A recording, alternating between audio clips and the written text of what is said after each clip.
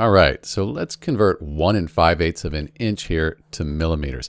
And the way we'll do it is 5 eighths. If you divide 5 by 8 on a calculator, you get 0.625. So instead of 1 and 5 eighths inch, let's say 1.625. And that's our inches. Because then all we need to do to get our inches to millimeters is multiply by 25.4 millimeters and that's 25.4 millimeters in one inch. So that's the conversion factor there. So when you multiply 1.625 times 25.4, you get 41.275. I'm going to call it 41.26 inches on the top and bottom cancel out. We end up with millimeters.